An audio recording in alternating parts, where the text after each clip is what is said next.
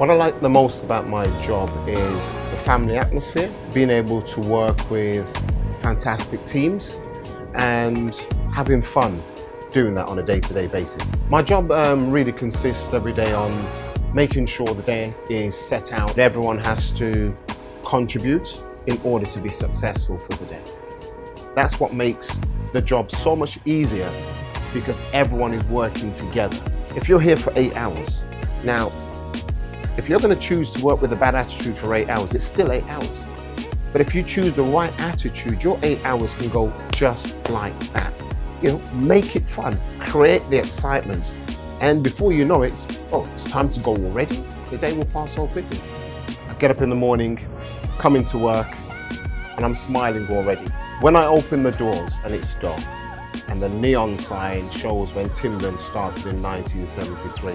I leave the lights off for about five minutes and I smile. I cannot believe at times that I am responsible for this unique store. I'm David Brown, the general manager of the flagship store Timberland on Regent Street. Start again.